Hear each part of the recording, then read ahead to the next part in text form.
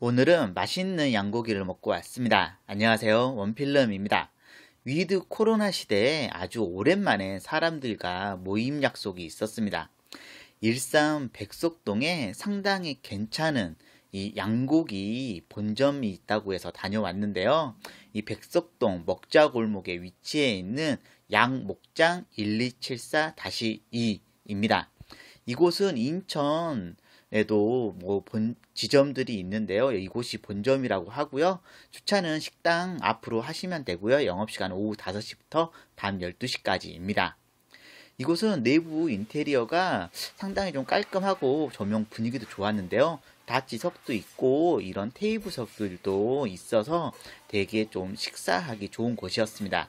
메뉴판을 보시겠습니다. 메뉴 양갈비부터 양등심, 양 살치살들이랑 사이드 메뉴들도 좀 다양하게 있는 편이었고요. 우리가 흔히 다니는 이 양갈비집 가면은 볼 수 있는 메뉴들이 다 있는 곳이었습니다. 주류도 좀 다양하게 있는 편이었고요.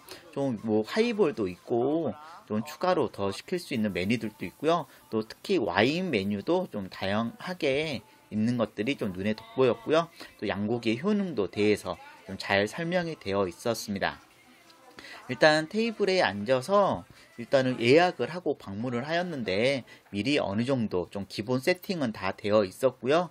일단 뭐 딱히 고기 외에 같이 곁들여서 먹는 음식들은 좀 심플한 편이었고 또띠아 나오는 게 나쁘지 않았고요. 그리고 숙주 볶음도 아예 다 볶아서 처음부터 나오는 게 조금 달라 보였습니다. 그리고 양고기랑 함께 고 먹을 야채와 과일도 이렇게 따로 담아서 주시더라고요. 먼저 이 4인 모듬인데요. 4인 모듬 양갈비와 이 양 등심, 양 살치살 구성이고요. 4인이어서 하여튼 양은 좀 넉넉한 편이고 저는 이 작은 테이블에 앉아서 2인 모듬을 또 따로 주문하였습니다. 2인 모듬에 양 살치살이랑 등심 되게 때깔 좋고 양갈비 이 숄더렉인데 숄더렉의 때깔도 되게 좋았습니다. 불판은 이거를 약간 좀 징기스칸 불판이라고 하나요? 올, 볼록 딱 올라온 이런 불판에 야채랑 또 직원분께서 알아서 다 고주는 시스템이기 때문에 가만히 앉아만 있으면 돼서 좀 편하게 식사를 할 수 있는 점이 되게 좀 좋았고요. 양갈비 숄더렉부터 먼저 구워주시고 이 살치살이랑 등심은 날 그 다음에 또 이어서 순서대로 구워주시더라고요. 일단 양갈비집, 양고기집을 가면은 좋은 점이 일단 고기를 제가 굽지 않아도 된다는 점인데요. 거의 웬만한 식당들 다 다녀봐도 항상 직원분들께서 좀 친절하게 구워 주시니까 되게 이런 점들이 편한 것 같습니다. 이 좋은 숯에 고지는 양고기 금방 쉽게 다 고져서 일단 숄더렉, 이 양갈비 숄더렉부터 먼저 먹어줬는데요. 그냥 먹어도 맛있고 또띠아에 싸서 먹어도 확실히 육질의 맛이 되게 괜찮다는 생각이 드는 그런 숄더렉이었습니다. 좀 야채들도 잘 익어가고 있고요. 하여튼 고기만 먹지 않고 야채와 함께 잘 구워진 야채와 함께 이 곁들여서 먹으면은 좀 맛있는 좀 식사 술안주 할 수 있었고 이 소스도 약간 좀 상큼함이 있어서 양고기의 맛을 좀 한층 살려주는 것들이 괜찮았습니다. 다음에는 이제 양 등심도 이렇게 구워, 구워 주시는데요. 양 등심 같은 경우에도 일단은 고기 quality 되게 괜찮아 보였고요. 어, 일단 직원분께서 우리가 먹는 속도에 맞춰서 좀 구워주시는 것들이 그런 부분도 되게 좋았습니다. 손님 접객이 되게 마음에 드는 그런 곳이었고요.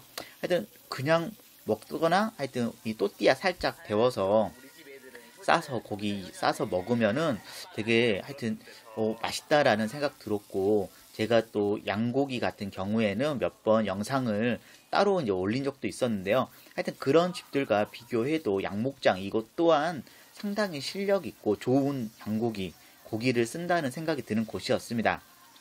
살찔살 같은 경우에도 되게 부드럽게 맛있게 먹을 수 있었고요. 또 양갈비 대도 뜯어 먹을 수 있게끔 이렇게 딱 싸서 주시는 것도 좋았습니다. 확실히 오랜만에 먹어서 그런지 좀 양고기를 되게 과식을 하게 되고요. 이 새송이 버섯 같은 경우에는 통으로 구워서 먹으니까 더 맛있었고 그리고 가장 비싼 이 French rack 양갈비 중에서도 되게 최고급 부위라고 하는데요. French rack도 1인분 이렇게 주문해서 구워서 먹었는데요. 일단은 딱 그냥 봐도 때깔부터가 상당히 좋아 보였고 이것 또한 직원분께서 먹기 좋게 구워 주시니까 확실히 맛있게 먹을 수 있었는데 확실히 shoulder rack보다 더 부드러운 식감이 되게 마음에 들었습니다. 역시 고기는 좀 비쌀수록 맛있다는 게 맞는 말인 것 같고요. 하여튼 숄, 이 French rack도 되게 마음에 들 거예요. 이 뼈까지, 뼈대까지 맛있게 좀 잘 뜯어 먹을 수 있었고요. 하여튼 shoulder rack 1인분 더 추가해서 계속해서 먹어줬습니다. 하여튼 고기는 알아서 다 구워 주시니까 괜찮았고 이 집은 양파에 쫙 올려서 딱 먹을 수 있, 있을 때쯤 집어서 먹는 이런 시스템도 좋았습니다. 명란 버터 마늘밥도 하나 주문해서 먹어줬는데요. 명란 버터 마늘밥은 우리가 흔히 맛볼 수 있는 또 양고기집에서 흔히 맛볼 수 있는 그런 좀 마늘밥이랑 비슷한 맛이었고 뭐 날치알 터지는 것도 나쁘지 않았습니다. 처음으로 방문해 본 양목장 1274-2 일산 본점이었는데요. 본점답게 되게 고기 quality도 좋았고 손님 접객하는 이런 시스템도 상당히 마음에 드는 곳이었습니다. 이날 뭐 갓난 아기도 한 명 있었는데 뭐 불편함 없이 식사하기 되게 좋았고요. 되게 분위기 좋은 곳에서 맛있는 식사했습니다. 영상 재밌게 보셨으면 구독, 좋아요 눌러주시면 감사하겠습니다.